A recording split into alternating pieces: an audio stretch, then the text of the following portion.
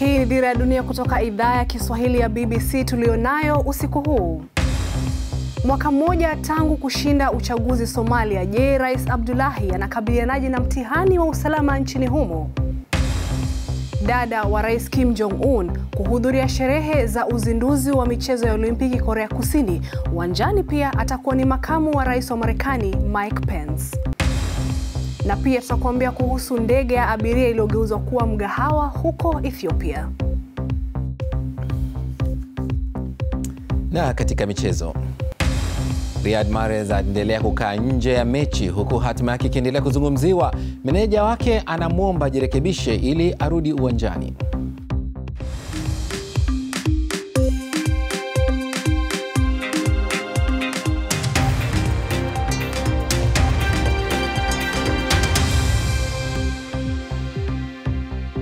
Hujambo na karibu katika Dira ya Dunia kutoka idhaa ya Kiswahili ya BBC kikuletea dakika 30 za habari, maelezo, uchambuzi, maoni na michezo. Mimi ni Esther Kahumbi nikiwa hapa London. Ni mwaka mmoja tu sasa tangu rais wa Somalia Mohamed Abdullahi maarufu kama Farmajo kuingia madarakani. Mtihani mkuu kwake unasalia kwenye usalama, huku wapiganaji wakiendelea kufanikisha mashambulio mjini Mogadishu na kwingineko nchini. Miezi mitano tu iliyopita, mlipuko wa bomu uliwaua watu wasiopungua mia tano kwenye shambulio lililokuwa hatari zaidi katika historia ya Somalia. Mwandishi wa BBC Ferdinand Omondi yuko Mogadishu na anasimulia jinsi wakazi wa Mogadishu wanavyokabiliana na makovu walioachwa nayo. Abdi Fatah Ahmed ana umri wa miaka 28 tu, lakini ana bahati kuwa hai. Makovu haya yanamkumbusha siku ambayo alikwepa kifo. Miezi minne iliyopita alijipata akijikokota kutoka vifusi katika duka lake la dawa baada ya shambulio kubwa la bomu.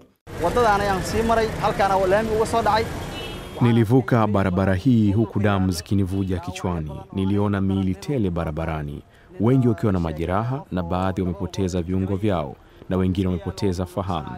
Sikuweza kuona vizuri sababu damu ilinichuruzika machoni mwangu, lakini bado nilijiona mwenye bahati kwa sababu nilichokiona ni hatari kubwa.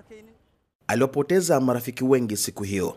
Uharibifu uliosababishwa na mlipuko huo ulienea kwa mamia ya hatua na kuwaacha wengi wakiwa wamekufa au kujeruhiwa. Hii leo sehemu kadhaa za eneo hilo zimejengwa upya. Watu hawa wameshuhudia tafurani kwa zaidi ya miongo miwili na wamekuwa wastahimilivu. Niliposimama hapa ilikuwa ni mojawapo ya majumba makubwa zaidi mjini Mogadishu, hoteli ya ghorofa tatu, na mlipuko huo uliuangusha kabisa. Sasa hapa wafanyikazi wanajaribu kuijenga tena upya, na wale watu ambao walikuwa wanapenda kuja hapo kubarizi bado wanakuja na wamepewa uwanja ule pale, wakiketi kuendelea kupata chakula na pia kinywaji, wakisubiri jumba hili likijengwa. Milipuko kama hii ikifanyika, huwa athari ni kubwa, watu hupoteza maisha na pia maisha watu huharibika kwa hali na pia kwa mali. Serikali ya Somalia imeilaumu Al-Shabab kwa mashambulio, ingawa kundi hilo halikudai kushiriki kama ilivyo desturi na mashambulio mengine mengi. Wakati Rais Mohamed Abdullahi alichaguliwa mwaka uliopita, aliahidi kuliangamiza kundi hilo katika miaka miwili, lakini wadadisi wanaona kuwa ahadi hiyo ni ngumu kutimiza. since the Al-Shabab, they are militant Kwa kuwa Alshababu ni wapiganaji, ni rahisi kupenya kwenye maeneo ya umma na ya kibinafsi, na wana hatari kubwa kwa mfumo mzima wa kisiasa, kiuchumi na kijamii. La muhimu zaidi, wanajenga uoga, na hilo linalosaidia. Hivyo ni vigumu sana kuwakamata au kupambana nao. Tangu shambulio hilo la mwezi Oktoba, kikosi maalumu cha jeshi kimechukua hatamu za kulinda usalama kutoka kwa polisi wa kawaida. Wakazi wanatumaini kuwa hatimaye wataweza kurejesha usalama nchini. Ferdinando Mondi, BBC, Mogadishu. Na ukitaka maelezo zaidi kuhusu taarifa hii unaweza kuyapata kupitia simu yako ya mkononi bbcswahili.com. Na tuangazie taarifa nyingine zinazogonga vichwa mbalimbali vya habari duniani kwa wakati huu. Syria imeliita shambulio lililofanywa na vikosi vya muungano vinavyoongozwa na Marekani kwa vikosi vinavyounga mkono serikali ya Siria kuwa uhalifu wa kivita. Wapiganaji mia moja wameuawa katika mfululizo wa mashambulio ya anga na makombora Wamarekani wanasema wamechukua hatua hiyo kujilinda baada ya ngome yao inayosaidia Wakurdi kushambuliwa. Mtandao wa kijamii wa Twitter umetoa ripoti ya faida yake ya robo ya kwanza ya mwaka wa kwanza kwa ya kwanza kwa miaka kumi na miwili ya historia yake. Inasema imepata faida ya dola milioni 91 katika miezi mitatu ya mwisho ya mwaka jana. Ilishusha bei za mauzo ili kuimarisha matangazo yake na pia kuongeza mauzo kimataifa. Watu milioni 330 walitumia mtandao wa Twitter mwezi uliopita. Mahakama ya ICC imethibitisha itachunguza tuhuma za uhalifu uliofanywa wakati serikali ya Ufilipino ikipambana dhidi ya dawa za kulevya. Mwendesha mashtaka wa ICC Fatou Bensouda amesema wataangalia ripoti ya mauaji wakati polisi walipofanya harakati zao. Rais Rodrigo Duterte anatuhumiwa kuamuru mauaji ya maelfu ya watuhumiwa wa dawa za kulevya tangu aingie madarakani mwaka 2016. Korea Kaskazini imethibitisha kuwa dada wa Rais Kim Jong Un, kiongozi wa nchi hiyo, atahudhuria sherehe za uzinduzi wa michezo ya Olimpiki ya majira baridi hapo kesho. Atakuwepo kwenye uwanja pamoja na makamu wa rais wa Marekani Mike Pence na pia baba mzazi wa raia wa Marekani Otto Wambia aliyefariki mwaka jana baada ya kuachiliwa kutoka gerezani huko Korea Kaskazini. Zawadi Machibia anasimulia zaidi. Pamoja na wachezaji wake, Korea Kaskazini imepeleka wanamuziki, watu wa burudani na uhamasishaji katika michezo ya Olimpiki ya majira ya baridi. Hii inachukuliwa kwa umuhimu wake kuisukuma Korea Kaskazini kidiplomasia kupitia michezo hii. Lakini serikali ya Marekani imekuja na malengo ya propaganda zake hapa.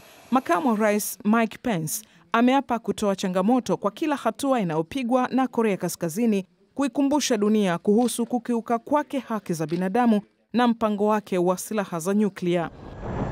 Wakati wenyeji wanafurahia hatua yao ya kuandaa michezo hii ya kimataifa, baadhi wamehoji inakuwaje sawa kwa utawala wa Trump kutibua sherehe hizi. Kiongozi wa Korea Kaskazini amemtuma dada yake Kim wa pili Jong na imethibitisha kuwa atakutana na rais wa Korea Kusini Moon Jae-in, ikionyesha kugeuka ghafla kwa upepo wa matukio, ikizingatiwa kuwa kuna hali tete kuhusu rasi ya Korea kwa siku za hivi karibuni. Ukweli kwamba pande hizi mbili zinazungumzia kuingia kwenye mazungumzo ya ndani inatia moyo. Pengine itasaidia kuingia kwenye mazungumzo zaidi. Labda ikiwa kutakuwa na mazungumzo ya kijeshi, hilo litakuwa bora sana. Ikiwa imebakia siku moja tu kwa sherehe za ufunguzi wa michezo hii kufanyika, Korea Kaskazini imefanya gwaridi la kijeshi kuadhimisha miaka sabini ya vikosi vyake, lakini halikuonyeshwa moja kwa moja kwenye televisheni nchini humo, na waandishi wa kigeni hawakukaribishwa kwa kuhofia huenda ikafunika ufunguzi wa michezo ya Olimpiki. Kwa sasa Wakorea kutoka pande zote mbili za mpaka wanafanya maonyesho ya utamaduni wao. Hata hivyo, pindi michezo itakapoanza rasmi, wachezaji watachukua usukani. Haina mwelekeo thabiti kuwa hili laweza kuwa tukio litakalobeba matokeo ya kisiasa kulingana na jiografia yake. Zawadi Machibia, BBC. Matangazo yetu ya redio yanaweza kusikika pia kupitia tovuti yetu bbcswahili.com. Hii ni Dira ya Dunia kutoka idhaa ya Kiswahili ya BBC. Mimi ni Esther Kahumi.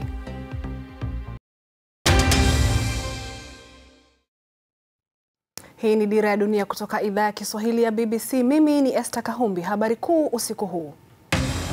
Rais wa Somalia Mohamed Abdullahi Farmajo leo ametimiza mwaka mmoja tangu kuingia madarakani. Suala la usalama bado linaendelea kuitatiza nchi huku wapiganaji wakiendelea kupata mafanikio mjini Mogadishu na kwingineko nchini. Korea Kaskazini imethibitisha kuwa dada wa Rais Kim Jong Un, kiongozi wa nchi hiyo, atahudhuria sherehe za uzinduzi wa michezo ya Olimpiki ya majira baridi hapo kesho. Baba mzazi wa raia wa Marekani Otto Wambia aliyefariki mwaka jana baada ya kuachiliwa kutoka gerezani huko Korea Kaskazini naye atahudhuria.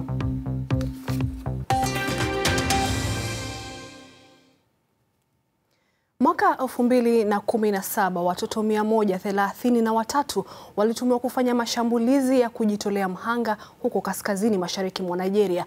Thuluthi mbili ya hao walikuwa ni wasichana. Falmata ni mmoja wa mamia ya watoto na wanawake vijana walilazimishwa na kundi la wanamgambo la Boko Haram kujilipua kwa mabomu katika miaka ya hivi karibuni. Haya ni maelezo yaliyomfika, vipi alivyotekwa nyara na jinsi alivyotoroka, sio mara moja bali mara mbili.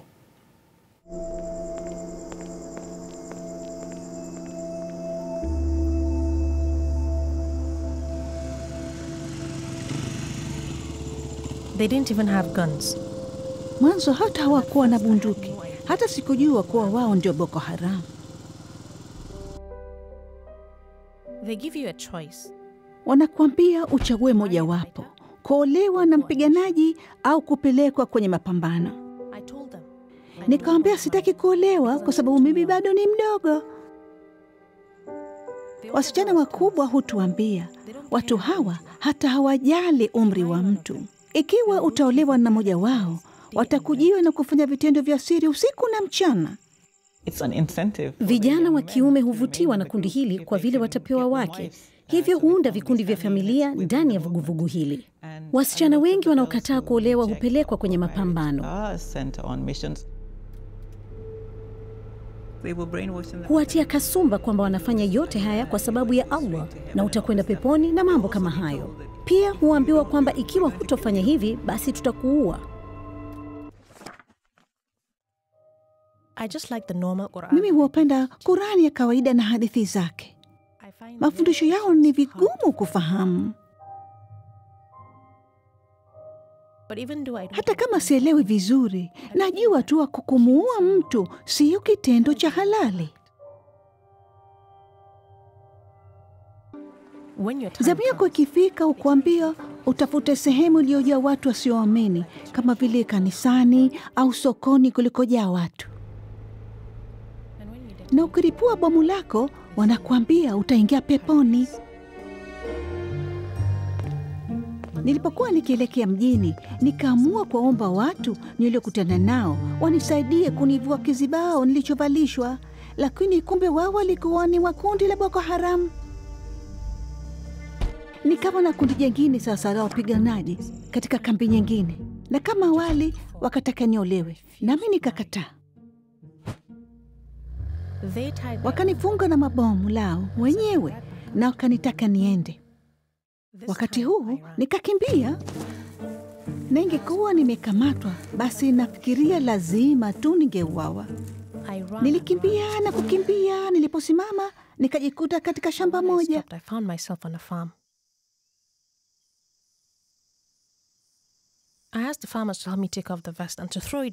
Niliwaambia wakulima kunisaidia kunivua kizibao chenye vilipuzi na kulitupa mbali mwituni, lakini wao waliniogopa. Kwanza, hawa ni watoto na hawa ni waathiriwa. Unachukuliwa kwa lazima, unakaa na watu hawa katika mazingira mabaya ya kutisha, mbali na wazazi na walezi wao na kila unayemjua. Halafu unafungwa vilipuzi, unarejea katika jamii, na kwa uwezo wa Mungu havilipuki, na jamii sasa inakukataa. Inasikitisha sana sana.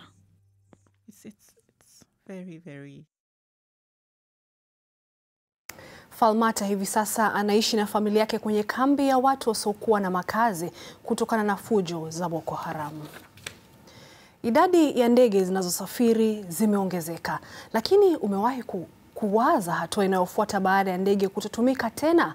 Baadhi huvunjwa vunjwa vipande na baadhi hupata matumizi mengine. Sasa kundi la wajasiriamali mjini Buraya nchini Ethiopia wamegeuza ndege ya abiria iliyokamilisha huduma yake kuwa mgahawa maarufu unaouza mvinyo uliotengenezwa kwa asali. Beri Lwambani anasimulia taarifa hii.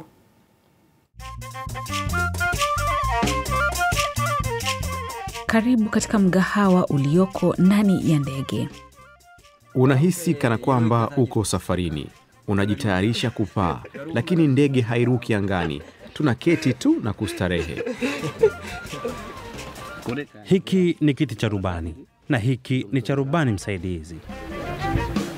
Baada ya kuona haya, wao huketi hapa kujiburudisha. Ni sehemu ya wageni mashuhuri. Ndege hii ilikamilisha huduma katika shirika la ndege la Ethiopian Airlines na kupigwa mnada miaka mitatu iliyopita. Haikuwa rahisi kuisafirisha ndege hadi eneo hili. Ilibidi tutenganishe mabawa. Tulianza kuisafirisha kutoka uwanja wa ndege karibu saa moja asubuhi na tukafika hapa saa nane ya dhuhuri. Tuliisafirisha hadi hapa kupitia trela lenye magurudumu 92.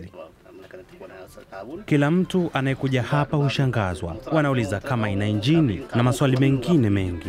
Wageni wengi hufika hapa kwa sababu ya kinywaji cha kitamaduni ambacho mgahawa huu hutengeneza. Mgawa huu unasifika kwa mvinyo wa kitamaduni unaotengenezwa kwa kutumia asali. Wanaipenda. Ni halisi, haijachanganywa na chochote isipokuwa asali. Maeneo mengi huwekwa sukari na ninaogopa kunywa. Ina ladha mno. Nimefika katika migahawa mingine, lakini hii ni ya kipekee. Pia kuna nyuki wa mwituni nyuma ya ndege. Nyuki walikuja hapa wenyewe wakifuata mvinyo wa asali. Hatukuwaleta hapa kwa kusudi, lakini bila shaka tunawataka nyuki. Ni asali yao tunayoitumia. Inachukua karibu mwezi mmoja kwa pipa moja la mvinyo kuchacha. Mapipa yanapaswa kuoshwa kwa uangalifu na wanatumia moshi ili kuongeza ladha. Mgahawa huu uko katika mji mdogo wa Burayu katika eneo la Oromia nchini Ethiopia. Umekuwa maarufu katika eneo hilo na sasa ni maarufu kwa harusi na sherehe za kuadhimisha siku ya kuzaliwa. Barolombani, BBC. Arsene Wenger atoa onyo kusitishwa ukorofi uwanjani. Wenger amesema ukora wa kujiangusha ovyo kutafuta penalti kama kina Harry Kane ukomeshwe kabisa. Dayo Yusuf atakuwa hapa na taarifa hii na zaidi katika michezo. Hii ni Dira ya Dunia kutoka idhaa ya Kiswahili ya BBC London. Mimi ni Esther Kahumbi.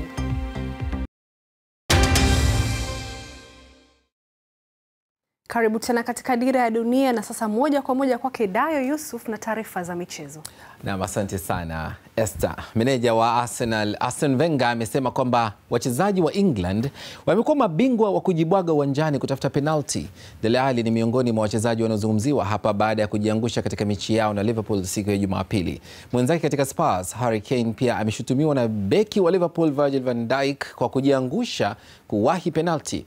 Meneja huyo aliwahi kumshutumu Raheem Sterling kuwa bingwa wa kujiangusha mwezi Novemba walipocharazwa na Man City tatu moja. Hata hivyo, Venga amesema kwamba yeye hawashauri wachezaji wake kujiangusha, lazima tabia hiyo ikomeshwe katika soka.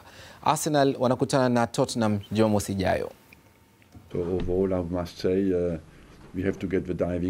Lazima tuondoe mambo ya kujiangusha kutoka katika soka. Nakumbuka kuna wakati ambapo wachezaji wa nje ndio wengi walikuwa na tabia hiyo, lakini sasa inaonekana wachezaji wa England nao wameshika hilo, na hata naweza kusema kuwa wao wamekuwa ndio mabingwa wa kujiangusha.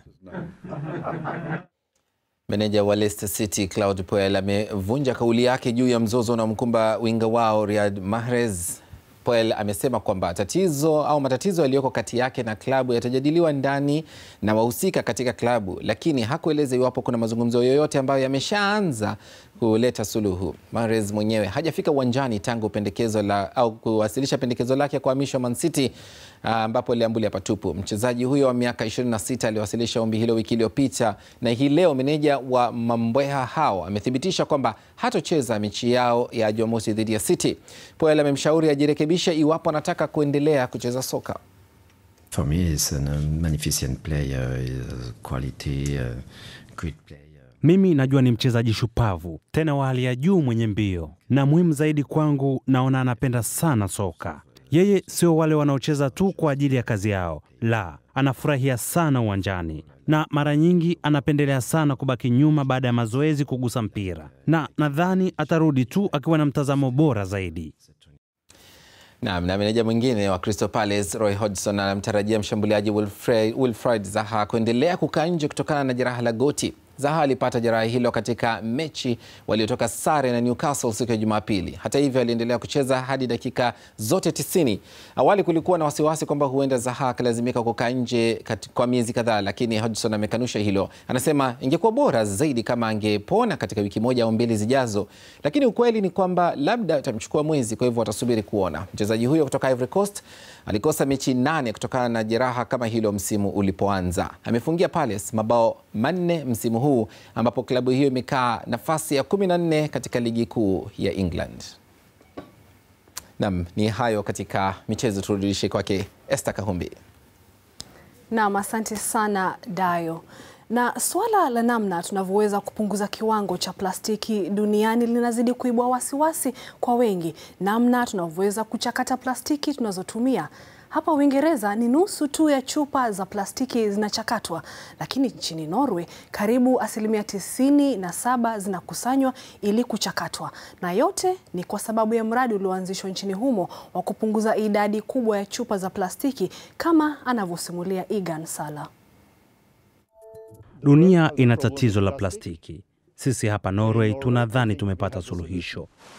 Mfumo wa kuchakata chupa za plastiki nchini Norway ndio bora zaidi duniani. Chupa karibu milioni sita zilichakatwa mwaka wa 2016. Katika maeneo mengi, chupa kama hii hutupwa kwenye pipa au hata barabarani, lakini sivyo hapa Norway. Nimerudi dukani na mashine hii inanilipa kwa kurudisha chupa yangu. When we buy a bottle of soda or something, Tukinunua soda au maji tunalipa krona moja zaidi, lakini tukirudisha chupa ile tunarejeshewa pesa zetu. And it's really easy because Ni rahisi sana na ni bora kwa mazingira. A bottle can uh, be Chupa inaweza kuchakatwa zaidi ya mara moja, inaweza kuchakatwa hata mara kumi na mbili. Tunagawa chupa za kawaida na za soda. Za kawaida zinatumika kutengeneza chupa mpya na zile za soda zinatumika kutengeneza plastiki aina tofauti. Lakini nani anagharamia mradi huu wa kujitolea? Kampuni ya kutengeneza vinywaji ikijiunga na mradi huu inapunguza kiwango cha kodi inacholipa. Mwishowe sisi sote ni washindi. Na sasa tuangalie ujumbe wako kupitia mtandao wetu, na ni kuhusu ndege ya abiria iliyogeuzwa kuwa mgahawa huko Ethiopia. Je, hapo ulipo kuna yoyote aliyeweza kufanyia ubunifu kitu ambacho hakitumiki tena, au kuna kitu unachoweza kukifanyia ubunifu? Tumepata taarifa kutoka mzee Kambwi wa Dar es Salaam, anasema hapa nilipo kuna gari lisilotumika na limegeuzwa nyumba ya kuishi watu na maisha yanaendelea kama kawaida. Naye Aston Junior Julius anasema jamani, Mtwara migahawa ipo kwenye makote, mak, mikoteni, hata maduka ni makontena. Samahani, makontena namaanisha. Naye Doto Lupilia wa Kwimba anasema huku huitwa vyuma chakavu, hupelekwa kiwandani kwa kutengenezwa bidhaa mbadala kama vile nondo za ujenzi, vifaa ya mashine na sufuria na wewe pia unaweza kuwasiliana nasi kupitia Twitter. Na sasa tutupie macho ukurasa wetu wa internet, na hapa kuna taarifa mbalimbali ikiwa ni pamoja na makala za michezo, picha na video. Na hatimaye watu wengi wanapotaka kufunga harusi wanatafuta mahali pa kuvutia, lakini maharusi kutoka Marekani walivuka mpaka. Mimi kwa maoni yangu, waliamua kufunga ndoa futi 400 angani katika bonde moja huko Utah, na kumalizia hafla hiyo wasimamizi waliamua kuruka kwa kutumia parachuti. Tizama. na sisi tabidi tutafute mahali pa kufanyia au kusomea taarifa yetu ya habari siku moja. Naitwa Dayo Yusuf. Mimi ni Esther Kahumbi, usikose kuungana nasi hapo kesho.